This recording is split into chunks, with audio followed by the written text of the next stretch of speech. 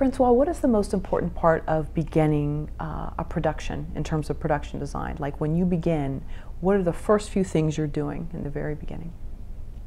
Uh, it's to read the script carefully and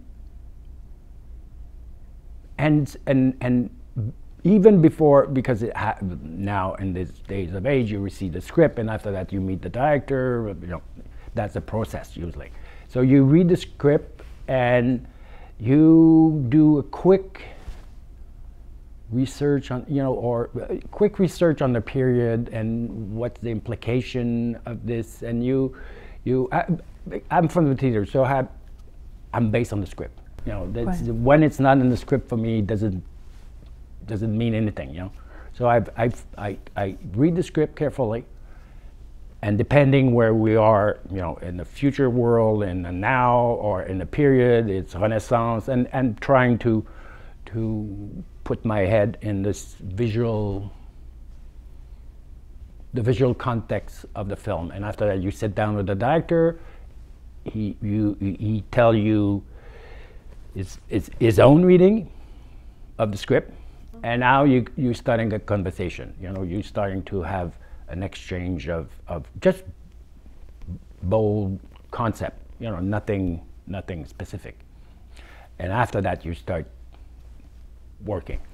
Francois, a quote from your personal site is from you, yes, and it refers to you say, When I work on a film set, I try to give it a theatrical feel, and yeah. conversely, yeah. when I work yeah, on a theater set, I try to give it a, a film feel.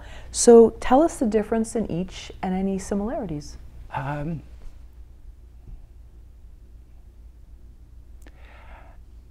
I like set that in the movie that are they they bring a lot of information and they have it's a it's a very subtle difference. I mean, I like a lot of texture, like in the theater. You know, when I I, I started there, I start, I did opera and the, there was a lot of texture and st- now the opera the, the theater style the theater language try, uh, has been much simplified it's more, much more stark. I like it though. I like it too, but I'm trying to justify it. So it's a little it's bit a more complicated. Um, well, yeah, yeah I like charge set. I like you know like on in Brooklyn.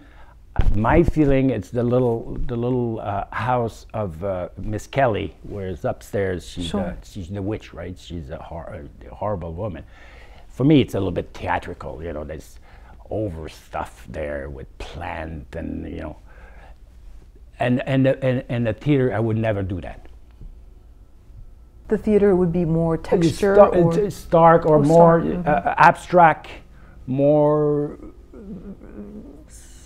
something with you know the opposite tall window with light and you know it's a little bit more uh, I don't know it's difficult. Okay. Maybe is it more understated with film? Yeah. Because it's just this little window that we're seeing yeah, yeah, yeah, through. Okay.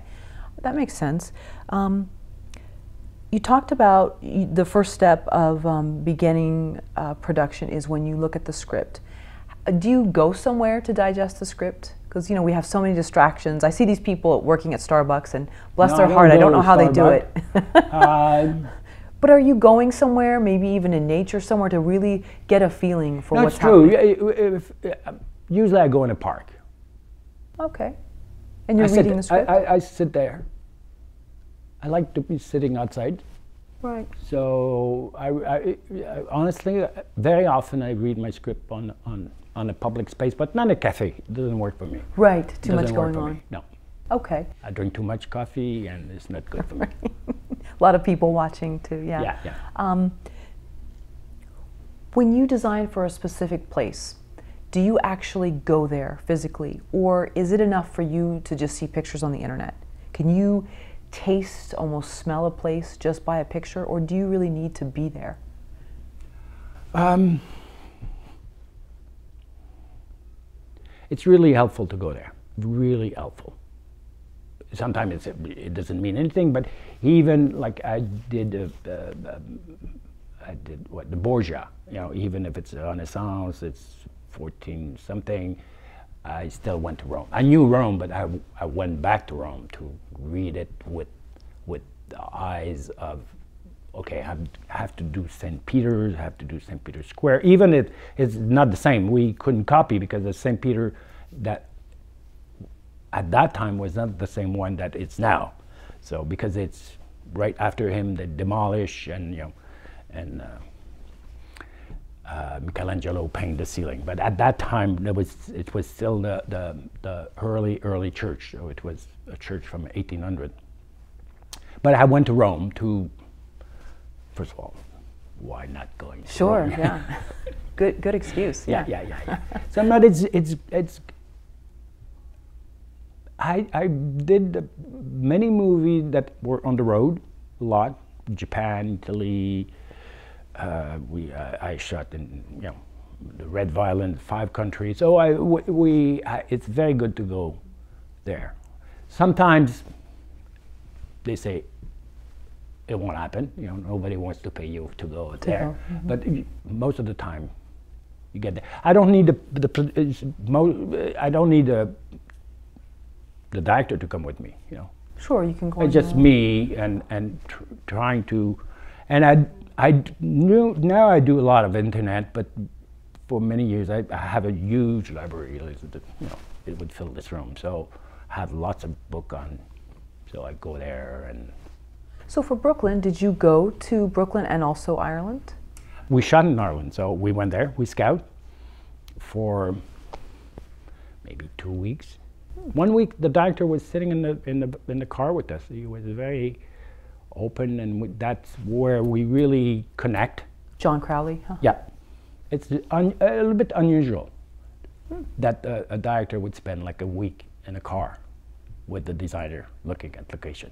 And what were you doing? Like, where were you going? Stopping at different roadside? Uh, no, no, no, trying to find the, the, the, town where she lives, and you know, and find a connection house, and because it's it's limited number of scenes, but we still she has to go out and walk to the dance hall and and the general store, you know, and um, so we need stuff. And John is Irish, so we knew more. And but we we scout and scout, and we end up shooting in a in Enniscorthy, which is a, the town that it's written in the book in the novel, the same place.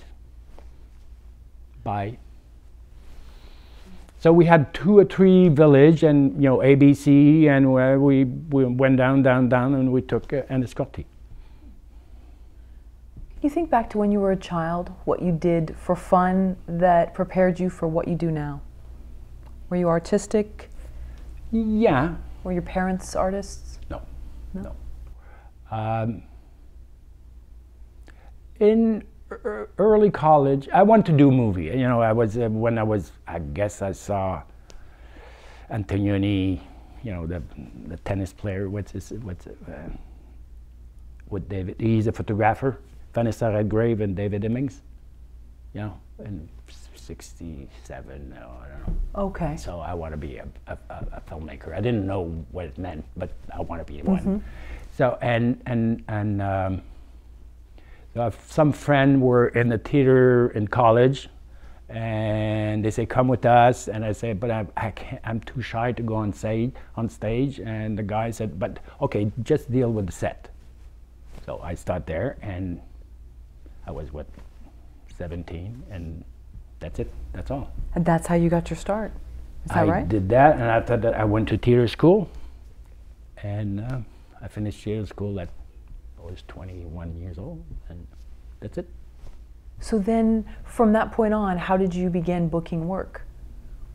You, you, you, you, you. In the theater, you start doing, uh, you know, props, and you assistant to a designer, and you do drawing, and you do technical drawing, and this is I'm talking about 1970, you know, and slowly, and one point, I, we did a play, a, a, a, a director wants to do a version for the television, so he took the same designers, it was me. Okay. So I started doing, I did one project with him, and after that he had another project, but so he hired me. so all slowly, I was a set decorator, I was an art director, but it's, I was still mixing both. I was a designer in theater and set decorator and art director in a movie. And I started doing more and more movie and less and less theater. And I had two kids, I couldn't stop. And they wanted to go to school and, uh, you know, so, because theater is uh, difficult to make money. What are small touches maybe that you can make for, for film, not for theater, but that you can say a lot about a character or a mood with those small touches? Because, yeah, um, you, you, as a production designer, you work with set decorator, so, and, and they, a lot of time they bring you stuff because they think you, you are in charge of a little bit the big picture and they, they focus on one thing. So, and after that, you you know, we of course it's Ireland, so there's crucifix everywhere. I, I, I, remember I saw it last time, yesterday, for the first time on the big screen, and there's a little near light switch. There's a little crucifix. I didn't remember putting it there. I guess it's the set decorator, but I thought it was a nice touch. This one on, on a short movie like this, from what I saw yesterday, there was I had a little personal problem with some of the stuff I did, but uh, uh, hopefully nobody's going to see it. But uh, it's part of the deal to shoot a movie like this in 35 days with that, that amount of budget and uh, with shooting in three countries, you know. Sure. It's, it's three crew. You have three crew, and because we, I was the only one traveling, you know. Uh, it was not one team that go that went to Ireland, moved back to Montreal, and went to to Brooklyn. It was me going and having a new crew all the time. Oh, so it's uh-huh. a little bit. Uh, Sure. So you're getting used to people's skill set. No, no, but it's uh, uh, you have to start again. The lang- you know, it's a little bit, uh, but it, that's the only way to make sense anyway. So sure. Well, who are you working with, and who is who is on your team? Whether it's in Montreal, whether it's in Brooklyn, whether it's in Ireland? So uh, the breakdown of, a, uh, of our department team in that scale of a movie, you have an art director, a set deck, and a prop person, and a graphic, basically. The set deck, sometimes I have one assistant, depending, or two, depending on the, first of all, there's different way of make uh, uh, the structure in different country. You know, not the same in Italy, not the same in in Ireland that in America, and so you have to adapt. But it's just, it's the same. Uh, it's just the structure is different. You know, that person does that, and that person in in in, in another country, the shift, it's a, the, you know, the responsibility is a little bit different. But basically, is we do the same same job. So you have this. So the art director, a construction coordinator, a set deck and a prop, basically. That's the corpus, you know. And on that, uh, you uh, a little bit outside, you have the people who, who deal with the car. That are, it's another tribe, the car people.